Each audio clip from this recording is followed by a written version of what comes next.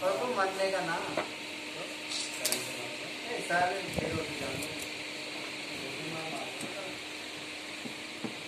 डिफरेंसर भी लाऊँगे हाँ?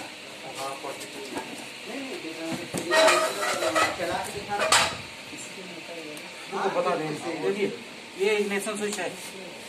पचास वोल्ट आता है, चाबी स्विच से घूम के इसमें। ये आ गया आपका टोटल ठीक है? ये यहाँ लग जाएगा। सेंसर वायर के तार ये हो गए। मोटर से आके डायरेक्ट यहाँ कनेक्ट हो जाएँगे।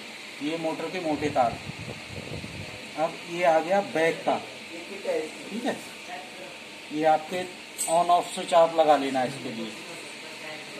जो नॉर्मल अपने लाइट वाला होता है ऑन ऑफ़ स्विच वो यहाँ डायरेक्ट लग जाएगा। ये डायरेक्ट जो है, इसको आपस में शॉर्ट कर दोगे किसी चीज़ से तो ये बैक चलने लग जाएगी। ये यहाँ। ये आपका प्लस कीमती तक नहीं बदली इन लोगों ने अभी तक। इतने फुर्तीले लोग पता नहीं करके काम कर रहे हैं।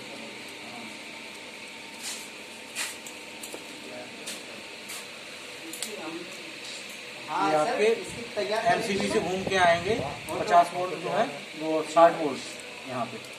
ये डायरेक्ट हो गया आपका। तीन सवारी वाला ऑटो आता है ना वो उसकी भी फिट है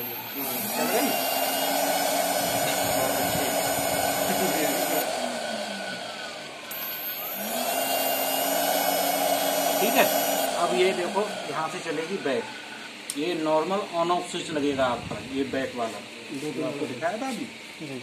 ये वाला तो ये वाला ये था। ये ये आपकी बैक चलने लग गई। स्लो स्पीड हो गई देखो। अब ये इधर को घूम रही है इस समय। ठीक है? अब ये जो है फॉरवर्ड हो गई है इधर को घूम रही है। ठीक है? अब आपको करना क्या है अगर आप डिफेंसर उल्टा सीधा कैसा भी लगाते हो आपके लिए स्पीड आपकी आगे कम हो जाती है पीछे तेज भागती है। तब आपको क्या करना है ये वाला कपलर देखो, ये, इस कलर का। इसको आपस में यूँ लगा देना, ऐसे।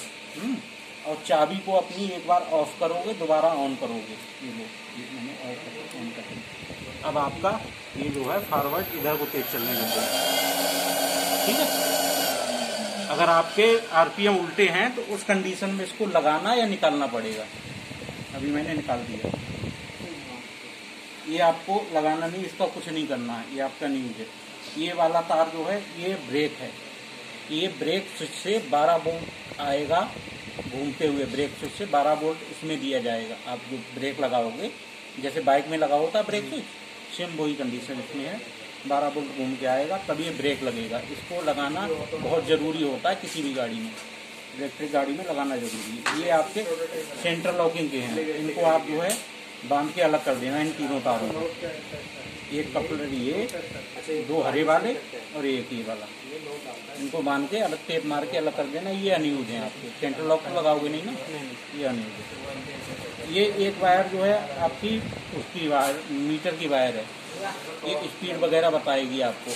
अगर आप मीटर लगाओगे यूज़ करोगे तो उसमें स्पीड बताएगी।